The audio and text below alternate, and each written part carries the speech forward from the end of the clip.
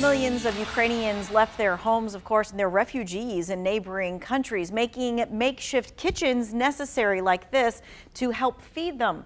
World Central Kitchen is an organization that sets up shop after natural disasters and at humanitarian situations. Well, they were on the Poland-Ukraine border and providing hot meals 24 hours after Russia invaded.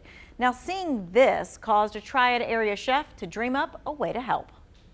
You know, I mean, I've always been about food. I mean, that's my world. You know, I mean, I love to eat. I love to feed people. And what's been going on in Ukraine has just been horrible to watch. And you always wish there was some way you could help, but we're so far away.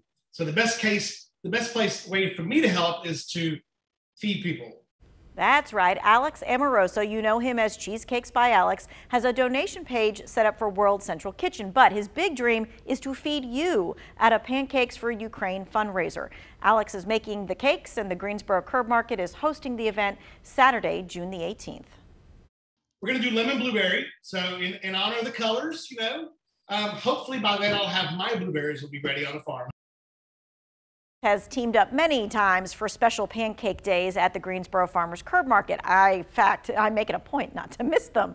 They're so good. This time, though, all the money goes to the World Central Kitchen feeding Ukraine. So mark your calendars. Again, it is Saturday, June 18th, 8 a.m. until it runs out. There is no set cost. It is all your donations.